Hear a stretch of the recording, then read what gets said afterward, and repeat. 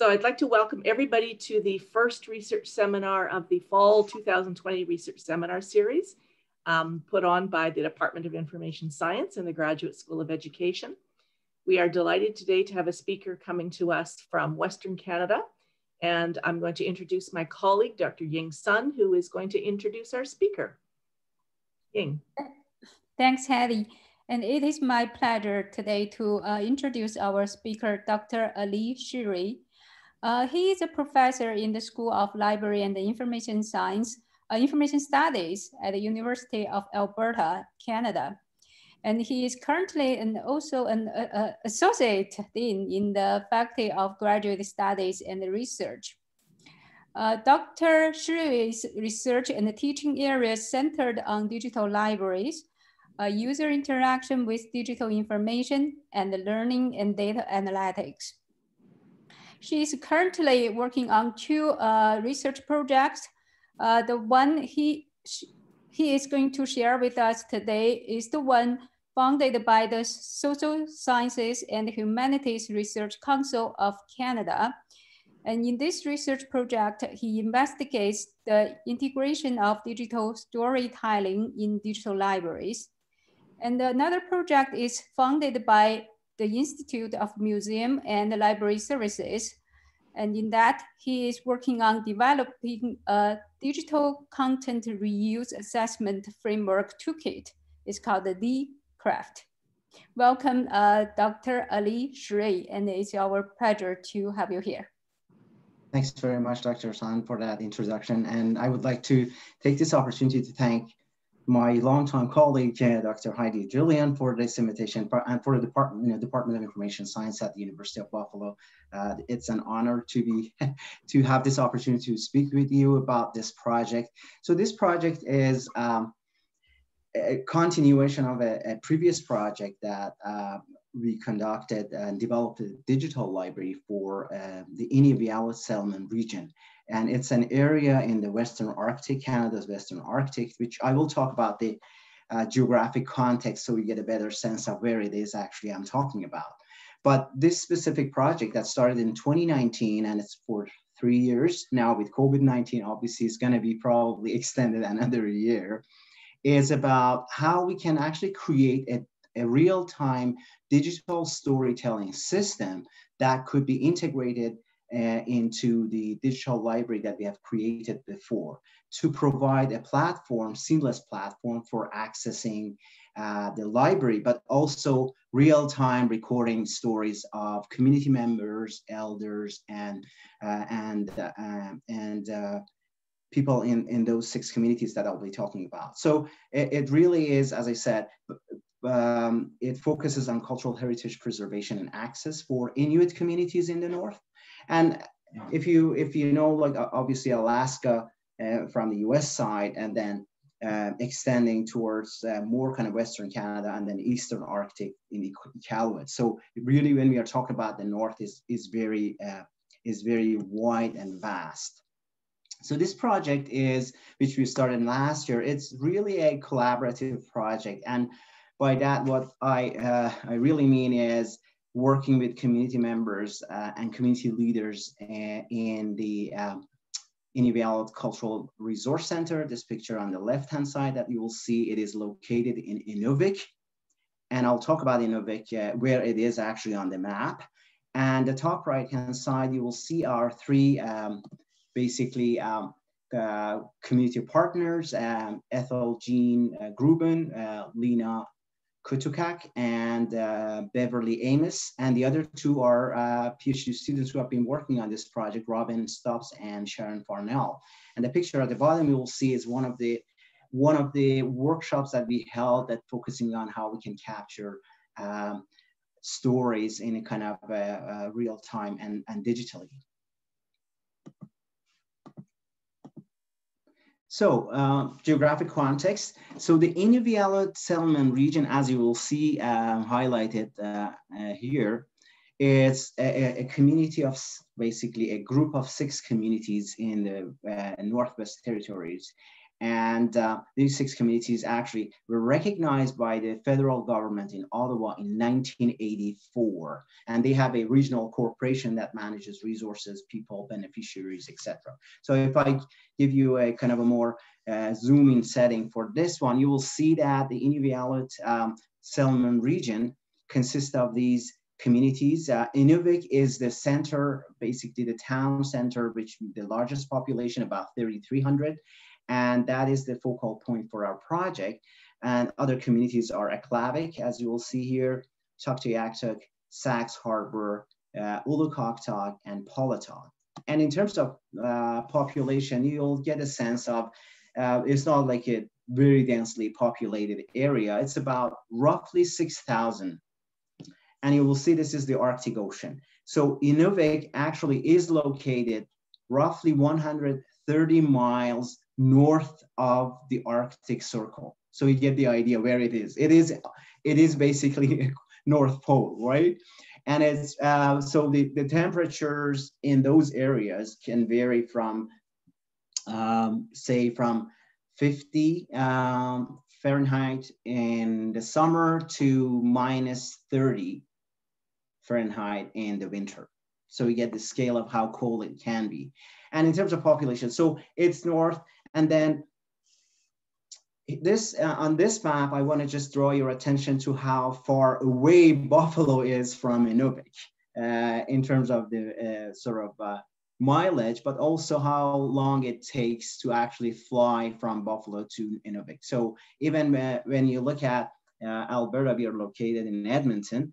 Um, if I just show you from Edmonton to Inuvik is about roughly three hours flight.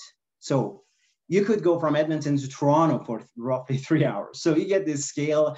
And it is important to actually uh, provide this geographic sort of uh, context and information because distance is one of the key challenges. Some of those communities that I mentioned, they are only accessible by flying in and out.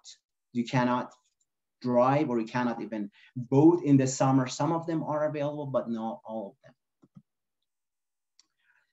So the project, Digital Storytelling Project, really what we proposed was to investigate, develop, and evaluate a real-time uh, audio recording, digital storytelling, and commenting user interface that could be part of the Inuvialuit Digital Library. The Inuvialuit Digital Library itself is now, was which is the outcome of our previous project, is now a publicly accessible uh, digital library that has more than 5,000 digital objects, which if I can show you briefly, uh, it is important again for contextual uh, kind of reasons to give you a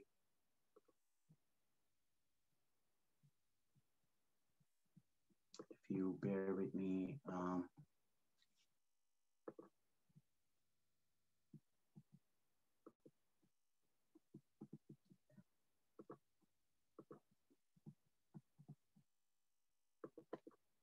So this is the um, Inuvialuit uh, digital library that we created over the course of four years from 2014 to 2018. The reason I'm bringing this up is because the digital storytelling system we are developing is going to be an integral part of this digital library. So anything like all these stories that are going to be captured are going to be seamlessly incorporated into the library for metadata, for description, for other purposes.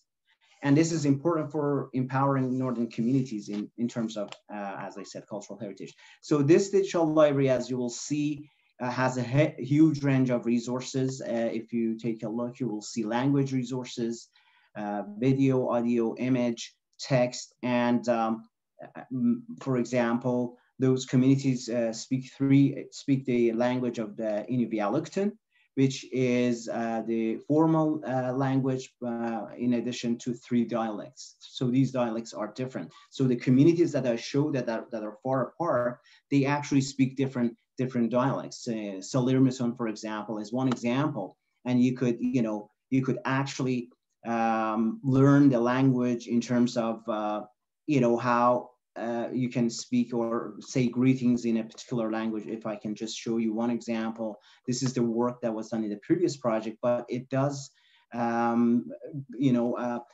serve as a basis for what we are hoping to do. So this is for example, language lesson in English and in Inuvialuktun, and you could actually play it and learn it, plus proper metadata added to each individual object. And that was another way of organizing content, but also culturally appropriate metadata. For example, places that you will see here, they are, there are local names, for example, Canada, as you will see here, it's also uh, pronounced uh, or uh, Kanata uh, by uh, Inuit communities in the north. So providing those uh, alternative access points in metadata was another way of looking at how we can make this digital library culturally appropriate kind of repository of digital content. Obviously, there are uh, other aspects of it. But what is important is this is now a publicly accessible digital library. And uh, I would like to focus more on the, uh, the storytelling side that uh, I uh, just mentioned. Um, so, so we wanted to create this uh, system that would be a, a part of this digital library for um, accessing materials, but also recording stories because we know that um, there are all kinds of devices people could use, you know, from small screen devices to various tools that they could use. But the challenge of actually uploading into a digital library, adding metadata, describing those and making it uh, kind of linguistically relevant for them, uh, it, it is a challenge. And that's where we focused uh, our attention.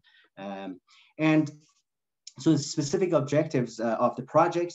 Uh, first of all, we wanted to, because those communities are far north and understanding those communities, we have been working with them for the past seven years, uh, establishing a novel community-driven participatory design methodology. And this is really um, um, important because it's not like us showing up in that community and saying that we want to create a digital storytelling for you. So it's it's really it's a community focused uh, mm, uh, approach. So um, there is a history and literature about participatory design, and I'm sure you know some of you have worked on it. For example, I know Val with children and the, the work of previous work in at McGill have focused on how we can do bonded design with children.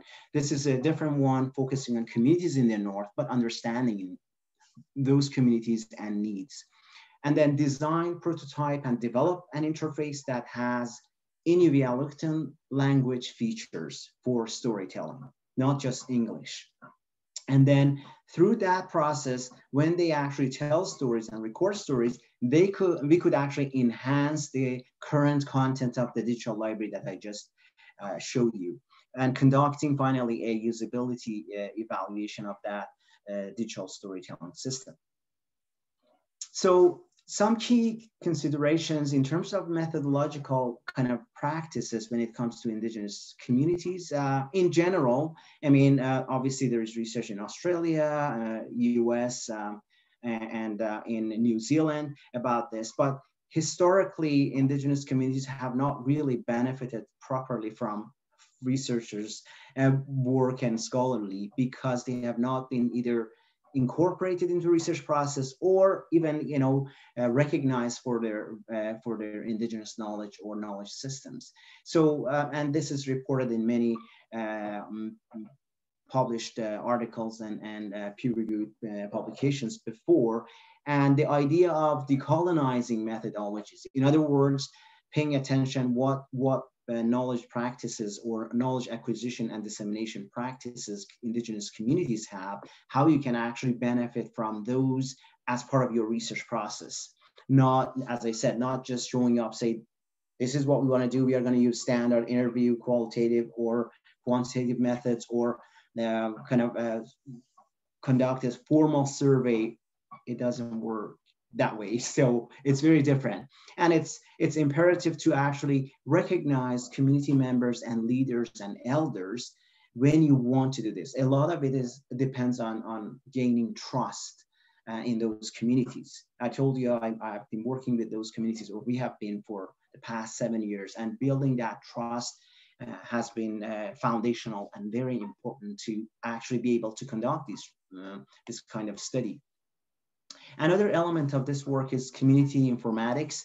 Um, one of the uh, people we, uh, that we have been really influenced by is uh, Srinivasan, a, a, professor in the University of uh, California, UCLA, uh, um, who has done extensive work in South America, focusing on indigenous, uh, basically, research and acknowledging cultural practices. And for some of you, I, I probably Heidi would remember, uh, back in 2018, he may, he actually was the keynote speaker at the ACES conference, uh, which was a fascinating um, talk. So he's done extensive work in that area. So we use that model, but that's for South America. So we benefited from some of those um, um, methodological basically nuances to learn more about how we can actually gain a social perspective when it comes to designing systems for indigenous communities.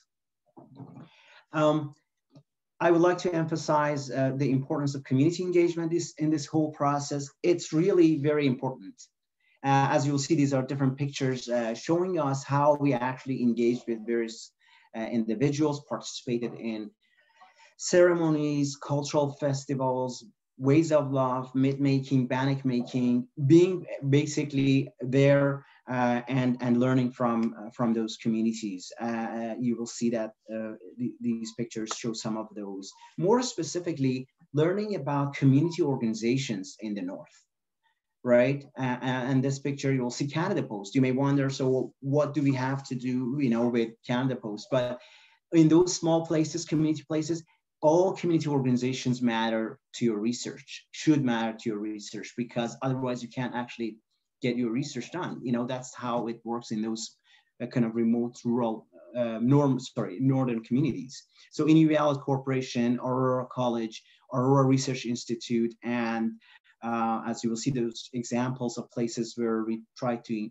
engage community members, plus uh, Midnight Sun Complex, uh, a great um, recreation center where we actually uh, set a table and we just talked to people. We sat there, watched um, a hockey game and cheered on the local team, home team. And it was just, you know, as I said, it's, it's, it's important to have that kind of uh, interaction with community members and elders.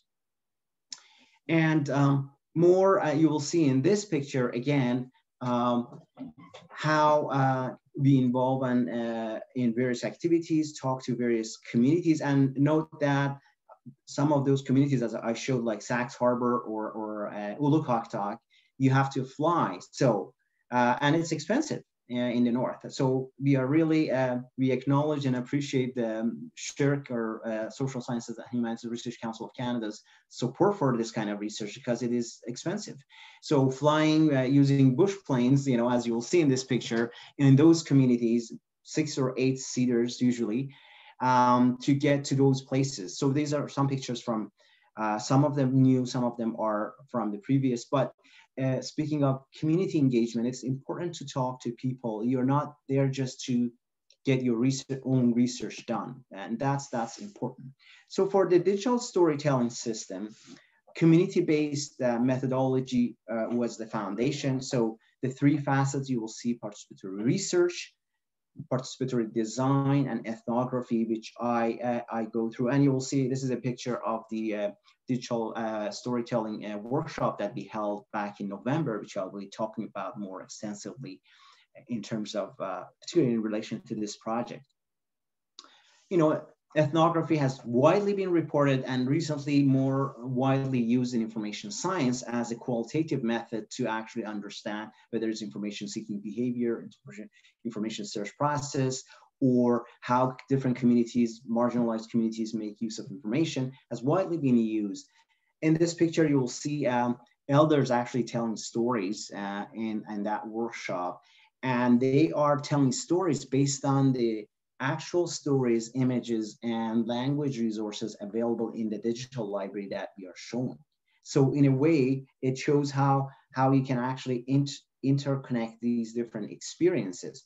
And the picture you will see at the um, bottom left-hand side is me uh, uh, in one of those trips that actually a tour of uh, dog sledding tour of 45 minutes that you had to actually maintain your balance. And this wasn't this wasn't done for fun. It really was developing that appreciative stance that Srinivasan was talking about.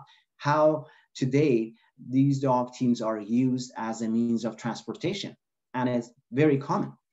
And it's it's a challenge uh, to you know maintain a, and your balance on that on that sled, and it's just learning about different activities and ways of doing things that uh, would be part of this research. It's not, as I said, it's not just creating a proposal and and hiring research assistants and getting that research done. You need to be, you really need to be there.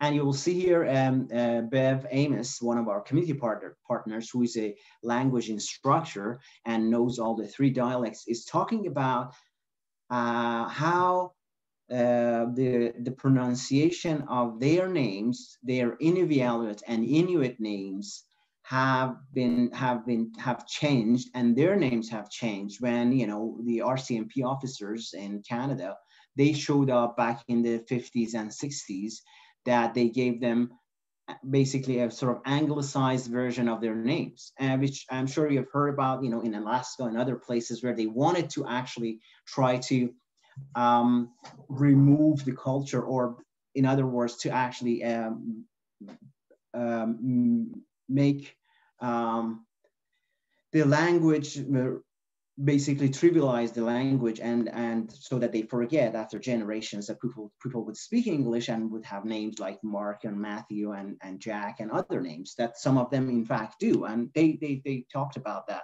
And they told stories about those which was very interesting so participatory design what what does that mean it's when it comes to community informatics and designing systems and technologies it's it is very important and it is important to understand community needs, but also equally important to involve community members in the process. And you, that's how you enable those uh, communities in terms of being able to use digital technologies. So the pictures you will see at top left, actually, they are using a digital the digital library for telling stories, but also for identifying family members, etc and then telling stories about those uh, those individuals. Um, and it's about co-interpretation and co-development of the digital library, making sure that community members understand the purpose of this project and contribute to it actively. So the workshop that we held, I'll tell you uh, that how uh, they were in charge, not us as researchers. We were more just um, observers acting as observers uh, rather than actually leading the project. Uh, so you will see that uh, I kept using the term digital storytelling as a process of using various media and, and technologies to create and share stories. Uh, this area actually became more popular by a Center for uh, Digital Storytelling, I think it's in, in, California in the 1990s, that they wanted to capture stories of various multicultural communities and ethnic groups for cultural heritage preservation and access. And the idea came then. But since the 1990s, things have changed. There are a lot of a wider range of technologies you could use. And but the but the gist of it is it started around that time. And um, obviously it's a powerful way of uh, cultural uh, heritage preservation and access. Um, more specifically, when it comes to digital storytelling at, as it relates to indigenous communities, indigenous communities look at storytelling not just as conveying information or communicating information, which actually seems to be uh, one of the very popular nowadays marketing uh, uh, uh and uh, business strategies. A lot of large corporations these days actually use storytelling as a way of making more profit. So storytelling is powerful, but for indigenous communities, also about um, supporting, sharing, and preservation of knowledge and information. And that means whatever they are, for example, if it is bannock making or myth making or drum making or various games, it's also about sharing that, but also preserving, you know, the generation after. So this is uh, uh, Fred uh, Wolki, he is actually, he stood up and talked about his dad, which is in the picture, talking about how he was, he was involved when, the, when they were actually when he was very young, and they were uh, on a sort of a hunting trip uh, to to Aklavik, and he's talking about how those years difficult it was for them to actually commute, uh, which was part of. So those stories are not. There is a story I start from here and end there. It is quite multifaceted, and there are emotional elements, cognitive elements, the understanding of the environment, the notion and importance of place. They are all play in this whole process. And this is um, Annie in Paulatuk. And we always give credit to this woman, an elder, because when she stood up for the first time, she stood up back in 2017 as part of our demonstration of the digital library, start, started telling this story. The idea of actually this project basically was uh, was formed because we had no idea that this some, something like this would be possible for this particular community. So uh, really um, interaction with uh, digital technologies like this example that you will see is, is very uh, interesting and is thought provoking and opens up new areas for, for further research. Uh, so to the workshop on um, basically um, elders workshop. We held a, a workshop in uh, November 2019 from 12 to 15 of November 2019. And what we wanted to do is in this project, rather than just jumping and developing a prototype or a system, we thought we need to learn about the process of storytelling in the Inuvialuit settlement region. So we invited, and this is with the close collaboration of community members that you will see Bev here and Lena, were foundational and instrumental in actually making this workshop happen and possible. Um, so we invited two elders from very each of those six communities, Aklavik, uh, Nelly, Ari, and Rennie, Tuktoyaktuk, Agnes, Fred, and Sandy, Inuvik, Sammy, Paulatuk, George, and Elizabeth Kuptana, and Annie Thrasher, Sachs Harbor, Margaret Carpenter, and Ulukhaktok, Mary and Connie. So these were elders from various communities. We wanted to make sure all those six communities are represented because they do speak different dialects. The language is the same, but even, even in terms of climate and weather, there are very significant kind of weather pattern differences in those communities that when they speak, you learn how nuanced that is uh, in terms of storytelling. And uh, this is the setting for, um, for the digital storytelling, uh, elder storytelling um, workshop that we held. And um, very, very comfortable environment. And we hired a, a professional uh, photographer and uh, videographer to actually capture all those stories. And those stories are currently in the Inuvialuit Digital Library, by the way. But we didn't do this, we didn't call this just digital storytelling. We call this storytelling as a, as a process to learn about how indigenous communities tell stories, interjections when they actually collaboratively tell stories, what are the nuances or cultural nuances of, of telling stories uh, when, when they start actually. And someone else remind them something about the name of an, an individual or place. It's all part of that storytelling process. And we wanted to learn from from their uh, their experience. And by the way, you know, as you know, these these are these elders. A lot of them are probably over 75 or around 80 years or 85 years old. So this is also the the those communities really appreciated that we are actually capturing their stories and making them you know, uh, live long in this digital library that would be publicly accessible for researchers, for the general public, for community members, for language learning um, purposes. And you will see there are, uh, there are uh, each of them took, you know, turn, introduce themselves, talk about their experiences. And the beginning and ending of the story is not like the sort of kind of cliche, kind of standard or kind of, I guess, um, academic way of telling stories. It just, we didn't know that and uh, we had to learn obviously, but uh, we are still learning, uh, is how you interject how do you do you probe at all or do not probe when they are telling story or you don't know a, a term do you ask them all those uh, uh, specific aspects of storytelling are, are important for creating a system that is actually culturally relevant and relatable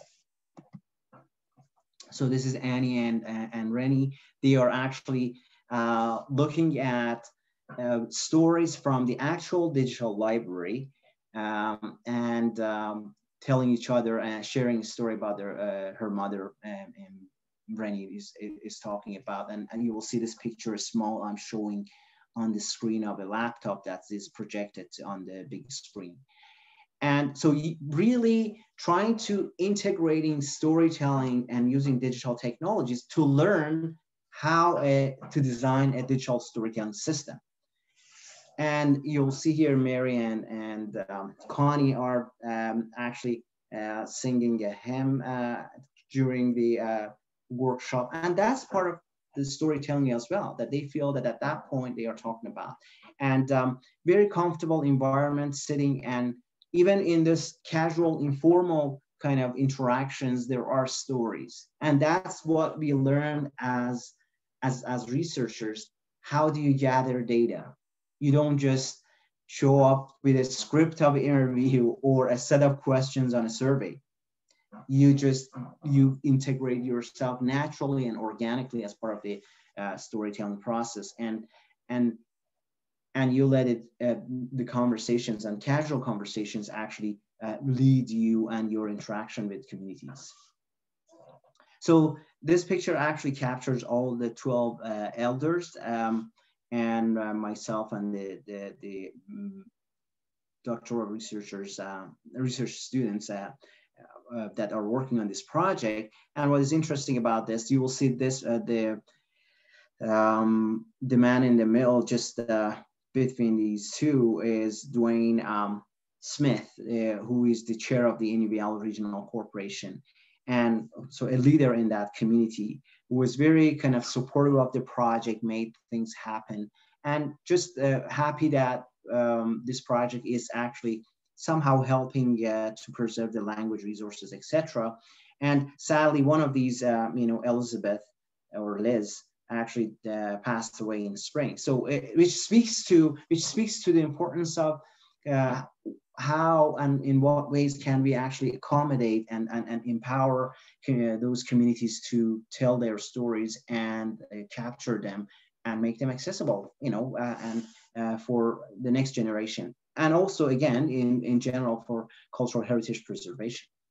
So as a result of that, we had a um, visit from our community partners, uh, Ethel Jean, uh, Lena, and Bev, in Edmonton, December, a month after that. So this all happened before COVID-19, right? We are really glad that we managed to actually do the first part. So we hosted the, them. We wanted to actually, with their help, develop a prototype as interface for telling these stories. So they actually had visits to the Provincial Archives of Alberta and other places. And uh, we wanted to actually uh, get feedback from them just to see how they uh, view this new prototype. It still is a very kind of rudimentary uh, interface that uh, this is the prototype we have uh, help, you know, developed with the, their help, which is going to be, obviously this is not going to be the final product, but this is going to be a, a, a system part of the digital library that people would seamlessly record their stories, whatever device they have, whether it's iPhone, iPad, laptop, tablets, different, different, different um, devices. That um, so the prototype is just to provide basic metadata like your name and what is your story about. Uh, and they, you know, whether they want to uh, say in English or in Inuvialuktun, which is their language, and then record their story and uh, just the you know basic features.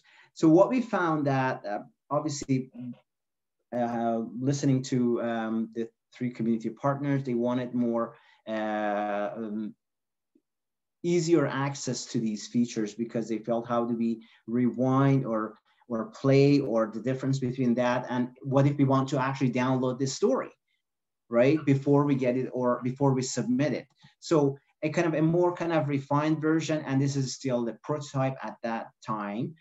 Um, we added two separate sort of control mechanisms. The first one focusing on uh, recording this story, stopping and playing, and you could actually download in a very light lightweight version of the file and story um, that you could actually download on, your desktop or your device and um, listen.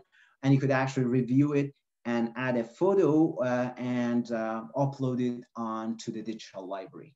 So that would be very seamless. So, so someone would moderate the kind of addition to the digital library plus adding metadata to, to this whole process. So you may wonder, so what would be, you know, what would be the advantage of this is as, as we said, how can we integrate digital storytelling into digital library work and making it a seamless process for capturing stories and sharing stories publicly. And so that, that really uh, was the intention. So this is basic. So we wanted to actually, in the summer, in July, we were, well, we had planned to go to up north to Inuvik and those communities to get feedback and actually work with some uh, elders to see how, what parts of this interface should change which unfortunately because of COVID-19 um, and, and, travel uh, restrictions, we couldn't do it. And so things got a bit slowed, uh, but uh, we were hoping to have open house move, movement, uh, sort of, e sorry, events uh, there and setting information tables in the, you know, different places in the supermarket and the, you know, sports center, etc. So which still is the plan, but this is going to be next year. And the idea of co-designing and iterative uh, redesign of the digital storytelling interface still is, is key because we know that this is just a basic plan yet. But we are now currently thinking about how we can actually involve one or two community members in the North and virtually conduct a usability evaluation of the interface. Simply because the interface that I showed you is web is web-based is, uh, is web-based, so you can actually, any device you have on internet, you would be able to record stories. So we don't have to be there for that. And, uh, but we wanted to de uh, sort of de develop a protocol for usability. So folks in the North could actually connect using Zoom or Google Meet and do usability and basically co-design this in an iterative way as much as possible. So, so we are at this stage that currently. So as I said, this is kind of a four-year project. We are at uh, at this stage developed um, the uh, prototype, and we are focusing on actually adding more cultural elements. In the meantime, we are looking at indigenous digital storytelling systems that have been developed around the world. There are some in the US, uh, and there are some in uh, New Zealand and Australia and some in Canada. We are looking at the in interface features for, the, uh, for those projects to see what we can actually uh, adopt or how we can inform our design in terms of cultural practices and even uh, color combination, web usability aspects, uh, user interaction and user experience. So really hand in hand, working with communities, to develop the interface, but also uh, informed by the literature and uh, previous practices and design models that have been uh, uh done around the world. So that's that's really the ideas that we are currently focusing on. And I would like to just uh, uh, acknowledge these folks. So Elizabeth uh, uh, Regional Corporation photographer, and um, um, research team, my research team, the Social Sciences and Humanities Research Council of Canada, uh, and, um, and also the Inuvialuit Cultural Resource Center, which is the focal point, and Inuvialuit Regional Corporation, which I said is a community corporation that manages resources and uh, beneficiaries and basically in charge of decision making for, uh, for the community. Thank you. So I'll stop um, sharing and uh, I hope I am on time, Heidi. absolutely, absolutely. Very well done. We've got lots of time for questions. Um, yeah. Thank you so much, uh, Dr. Shiri. That was uh, fascinating. Lots of threads that um, one could follow there. Um, so far, we only have one comment um, in the chat. Um, and so I would encourage people to either post questions there or, or raise your hand. So I'll just start with um, Val's question here. Are you aware of the work done by Steve Jordan at McGill University? Mm, that's a very interesting question. No, I'm not. Um, so that's Yeah, he um, he's one of the originators of participatory action research, right? Which is okay. exactly uh, very close to participatory design and and pretty much exactly what you're doing. And he worked and has been working. I just looked up on his website um, with Indigenous peoples in uh, Quebec's north, and oh, he has really interesting um, research that I think would um, and some ideas and things that I think would uh, inform your research. And he's in fact in the faculty of education. He's in the faculty of education. Oh, interesting. Yeah. Okay. Yeah, we are in the faculty of education too. Perfect. Thank you. Steve Jordan. Yeah. yeah. And actually, I think um, he's actually a uh, department, he's the department chair of the uh, Department of Integrated Studies. Perfect. Yeah, so, yeah thank you. Anyway, I just thought I would. Uh, yeah, yeah, no, for sure. That's I, very I, I, um, I, I've done a lot, like he's done a lot of really interesting work. So just thought I'd let you know.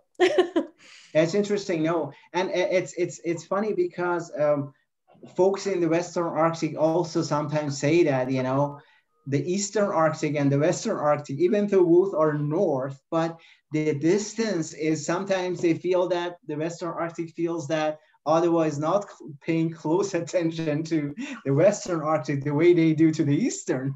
And the same you could say, argue about research, how sometimes within one country, you know, you may not be aware, but I appreciate this uh, suggestion. I'll definitely look him up to see what he has done. Thank you for that. Uh, Dan, you had a question. Sure. Thank you, uh, Heidi. And thanks so much for the presentation. That was fantastic. And we appreciate you being here and, and sharing your, your knowledge and wisdom with us and, um, you know, telling us about this study specifically. So we appreciate that. I, I just to ask a, a, quick question for context. Um, uh, we, we also hear the term a lot um, in our profession of oral histories and video oral history and um, wondering how you see the difference between that and the storytelling that you're collecting. And I, I have another little question to follow up after, but I'll I'll let you respond to that. Great, great question, Dan. Great question, and and that's a very interesting question because the digital, the Inuvialuit Digital Library does actually have oral history content. Now, I, you know that I am not an oral historian. I am a more kind of information science person, but the, which means I am not really familiar with the way that oral history works extensively. But I do know that storytelling techniques have been used to do that kind of capturing and preservation. So there are there are some kind of basically intersecting, I, I would say, components and elements that are are doing. In fact, a lot of uh, projects that we have reviewed, they have kind of interchangeably, sometimes kind of synonymously use oral history and and digital storytelling. But in, in reality, it's because it's indigenous communities, I'm being very honest with you, I took this approach that I need to learn, right? and not making any assumptions in advance that I know what I'm doing, even though we proposed this, even though we had some knowledge and literature and all of that. But uh, but it's an absolutely important point that you're making that there are some connections, but I, I believe Sometimes the, me uh, the methods are different. So for example, in oral history, you get some really professional interviewers uh, with extensive knowledge of how to actually glean data and probe various aspects, uh, historical aspects of a story. Whereas in this project, the focus is how can we facilitate and use technologies to enable community uh, members and elders to tell stories and capture them themselves. So it's a kind of a kind of a different kind of context, but I appreciate your point. It's it's a very kind of fine and solid point that you're making. Great, thank you. My other question is about the actual the, the features um, and interface uh, future interfaces for the digital library. So when I see this um, when I saw this pres- presentation, I, I, think back of a project that I used to follow um, at Carnegie Mellon, and they once tested with the data set. It's called the Informedia Video Digital Library Project. Right, right, right. And they they tested one time with um, video oral histories. And what was interesting from that is that their features um, that that they developed uh, really came from more of a perspective of kind of like a, you know, digital curation type of perspective, like almost like museum curation type, but on in an online in a uh, format in a video digital library. Um, for example, their their browse features were not necessarily just the standard browse, but they were able to like visualize the data set of, of again video oral histories. Like by if a year was mentioned in the transcript or a location, they could map those out geographically or on some type of timeline, and it would allow people to to browse that video oral history collection based on like when people were talking about a certain place and time, right? So I was wondering if maybe you um, are planning for such type of, you know, that type of browse or interaction with right. the collection and data set as a whole, right? Yeah, yeah. Well, you're. I'm very glad that actually you raised that Dan. I know that you have worked on video retrieval, and uh, you know, as part of your PhD research back then. But also, what is interesting is currently uh, the platform we are using is called Omeka. Some of you may have heard. It's a kind of an open source application developed in the US and award winning. And we are using because a, lot of digital exhibits and virtual museums are using it. It's very powerful, but there are limitations. And in fact, what you're referring to is how Informedia use metadata elements to provide browsing and navigation functionalities to make it more interactive, right? Which Omeka does not support. We are actually um, exploring how to uh, basically uh, migrate this uh, onto a more powerful repository system that would allow us to actually use all metadata elements. For example, we have a dialect metadata element, which can nicely uh, uh, sort of filter content based on dialect and based on geographic location, wherever you know those uh, content areas are. So at the moment, excuse me, Omeka is not able to do that kind of browsing, but it is an important element. You're right. You could actually, you could actually say in this digital library or in these stories, I want stories in the between 1985 and 1988, how to capture it. And, uh, you know, uh, so that, excuse me, that affordance does not exist in, in Omeka, but we are hoping with uh, migration to this new system that actually was developed by the Arts Resource Center and the University of Alberta.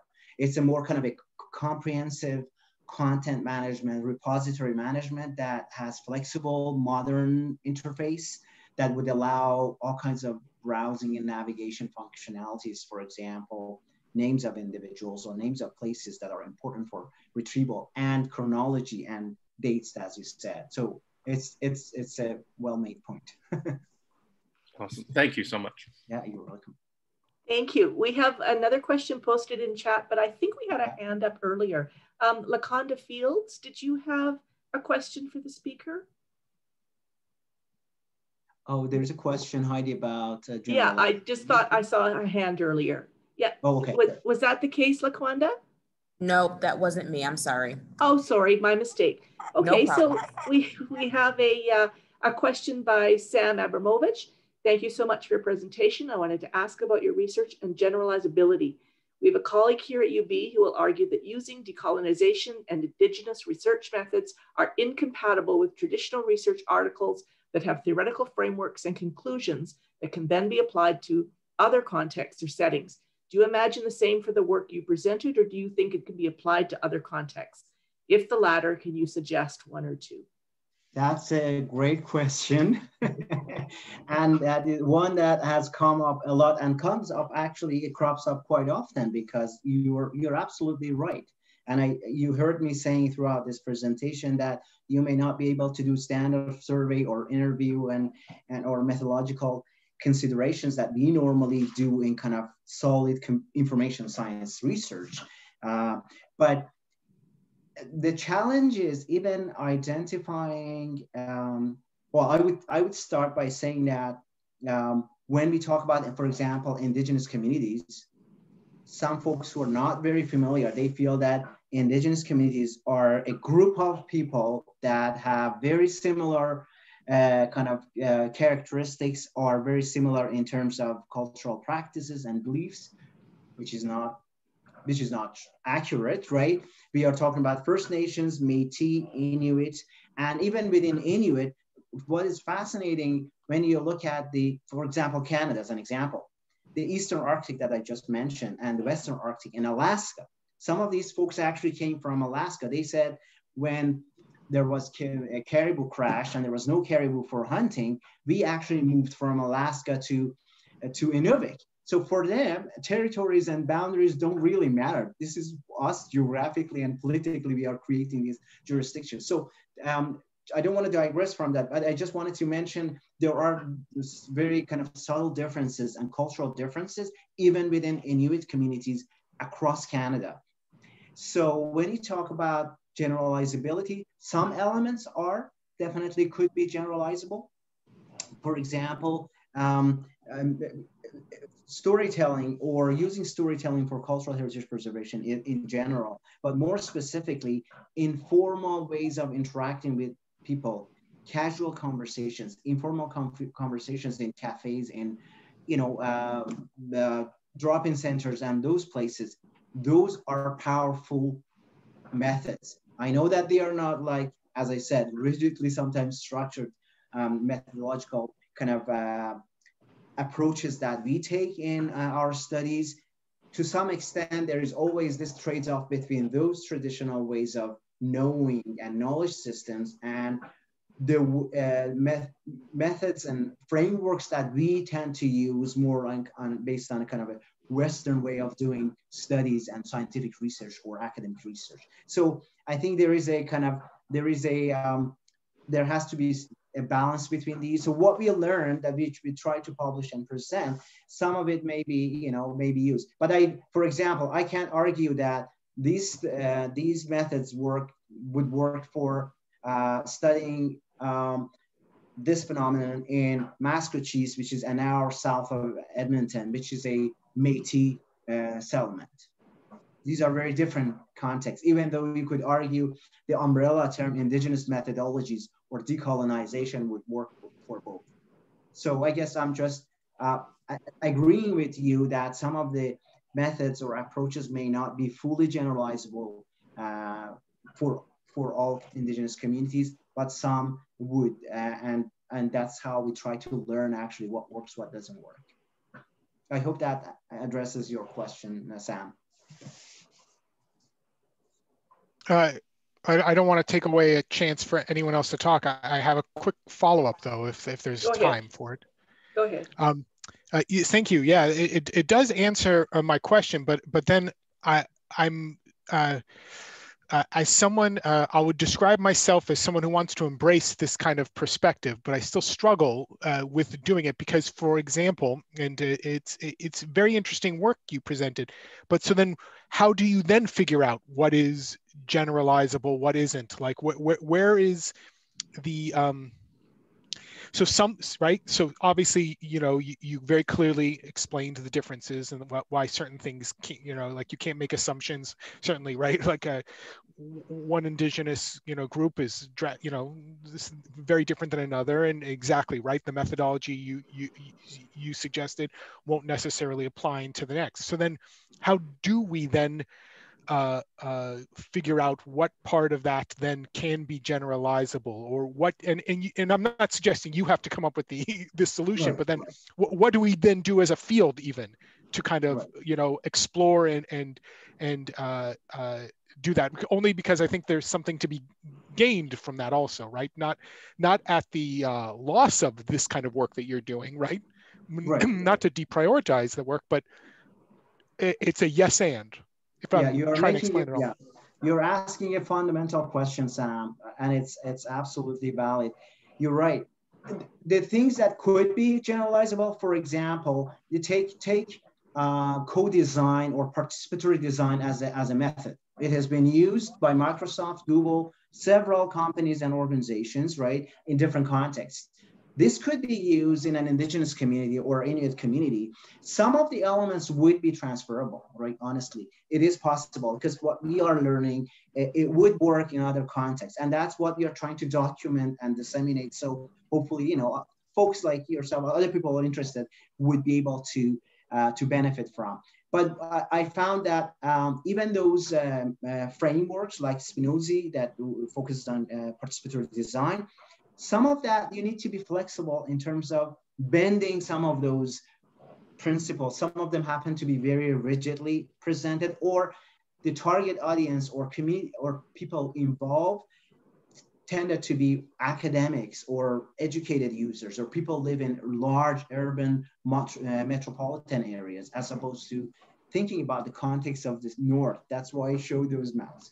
What would work in that context if what what for example what we found that holding open house events is a powerful way of community involving community members from nine to five just yeah, serve bannock and, and the soup.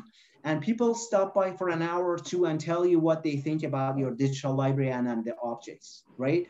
I'm sure those would work in most communities, right? There are some elements and methods that would work, but there are some that would require, uh, of course, um, modifications or, or changes. But I agree with you. We can't just kind of in a vacuum say, how do you decolonize methodologies, right? You have to be, you know, you have to pin it down and say, what would you suggest as recommended practices that would work at least for say Inuit communities in Alaska if, if you were to study, right? So there are some elements that would definitely be generalizable. Thank you. That, that, that that's uh, very helpful. Thank you. Well, we've uh, come to the end of our hour and the end of our questions. And um, I would just like to echo Dan's earlier comments, Ali, and just thank you um, very sincerely from, from us who are uh, able to benefit from um, hearing your talk live and, um, and also from the perspective of the uh, students and, and folks who will be able to uh, view and listen to the recording down the road. So thank you very much. And I know we wish you all the very best um, in your future research um, after this pandemic nonsense ends. Thank you very much, all of you, uh, Heidi, Dan, uh, like uh, everybody, and those who are participating. I, I appreciate your attendance. I know how challenging these days are, or and months are for everybody, but having you here, it's it's a privilege, uh, really. I don't take it for granted, and I appreciate your attention and engagement. And have a Thank you so day. much. Thanks. Bye bye. Thank you all for coming.